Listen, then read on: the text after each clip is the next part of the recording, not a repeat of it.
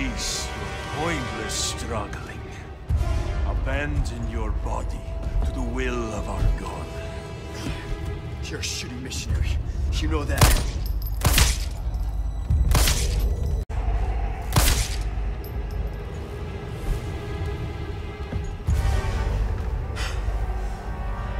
Cease your pointless